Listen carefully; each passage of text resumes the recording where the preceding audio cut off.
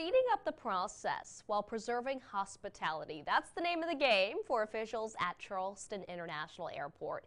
Starting next month, passengers will be able to check in and drop their bags off before even walking through the doors.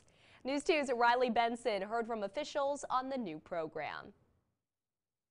Starting in September, curbside kiosks will line the entrance to Charleston International Airport, allowing passengers to drop their luggage off at the front door and head straight to the security line, cutting out the time they would spend waiting at the check-in counter.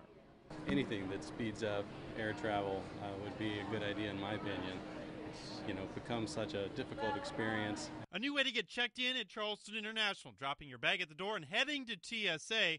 Officials say it's a needed improvement with passenger numbers poised to break records this year. We're looking to do about 5.1 million passengers this year, which is a lot more than, than this place is really uh, was scheduled to do at this time.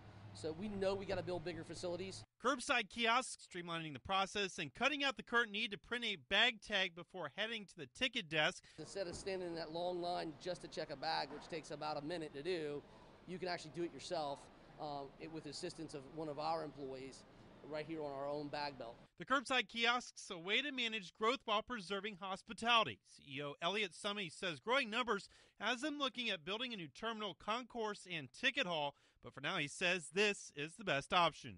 We're, we're going to pilot it out here.